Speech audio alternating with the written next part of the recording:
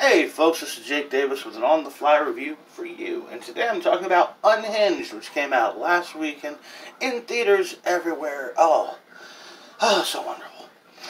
Um, this film is directed by Derrick Borte, stars Russell Crowe, Caren Pistorius, Gabriel Bateman, and Jimmy Simpson. Ah, the whole setup here is uh, during just an awful morning. A woman rushing to get her, her teenage son to school loses her job over the phone on the way to the school, as well as also trying to deal with uh, a divorce. Um, and is also living with her brother at this time. So there's just problems racking, racking up for this woman.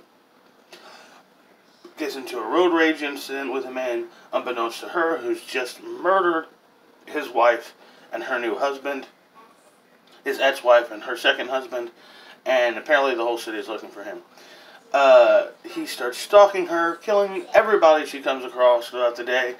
Uh, and uh, it's basically a solid slasher. It's let's say uh, comparisons here. It's it's Duel plus Falling Down with um, The Hitcher thrown in there.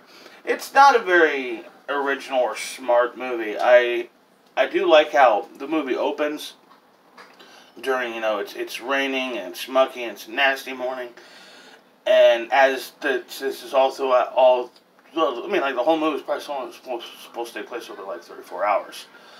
Um, uh, I like how it's consistent. You know, you see the sun's drying out the streets and trees and the cars. Uh, I like the consistent visual look of it. Um, uh, did a good job of making it look like it was real time. Uh, Russell Crowe's terrific as always. Uh, I did think his character was lacking. I think we we both know too much and not enough about him. We should have should have been a complete mystery, or they should have told us his backstory. You know what I mean?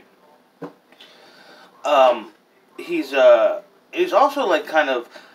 I never liked the super smart killer. You know, uh, uh, it's just such a cliche. You know, you don't have to be intelligent to be a fucking brute, and I think that's more intriguing. Look at some, some of the most iconic and memorable killers in movie history were guys like Jason Voorhees, just mindless. You know, just throw his massiveness into people and just rip them apart.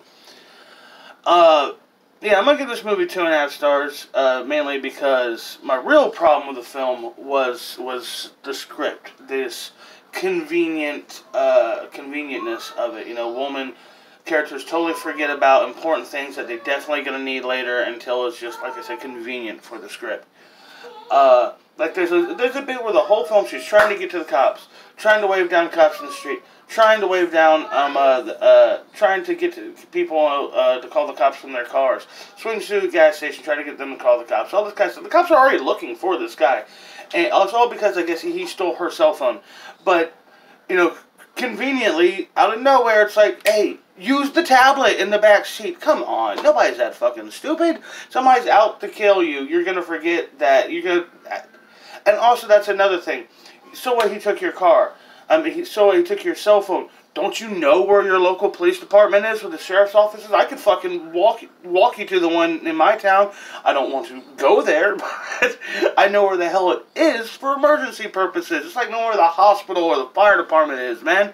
You gotta know where this shit is in your town.